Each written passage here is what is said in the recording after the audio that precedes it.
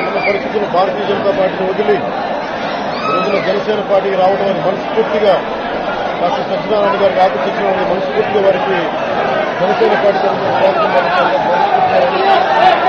అలాగే సతీమణి